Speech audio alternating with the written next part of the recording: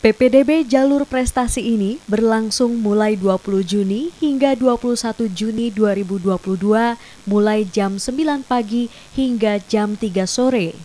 Pengumuman yang lolos PPDB jalur prestasi akan dilakukan pada Kamis 23 Juni 2022 mendatang. Pelaksanaan hari pertama ini berlangsung lancar. Mengantisipasi kendala jaringan, Dinas Pendidikan menyiagakan tenaga operator untuk memastikan kelancaran jaringan internet.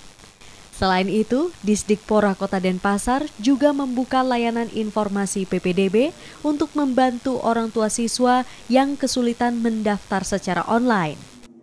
Tentang pelaksanaan hari ini, hari pertama PPDB kita di Kota Denpasar, sesuai dengan jalur yang kita buka untuk hari ini adalah jalur prestasi ya pendaftarannya ini semua online ya.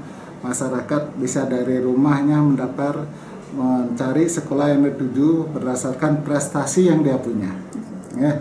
Artinya sementara ini ya belumlah ada kendala yang pasti yang yang yang sulit yang dihadapi.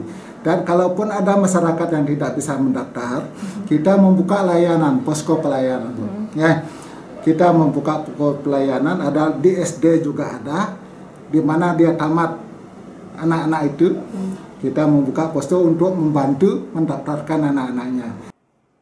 Tahapan PPDB di Kota Denpasar terbagi menjadi beberapa jalur, yakni jalur prestasi, jalur perpindahan orang tua atau wali, dan afirmasi jalur zonasi umum dan dampak pandemi COVID-19, serta jalur bina lingkungan.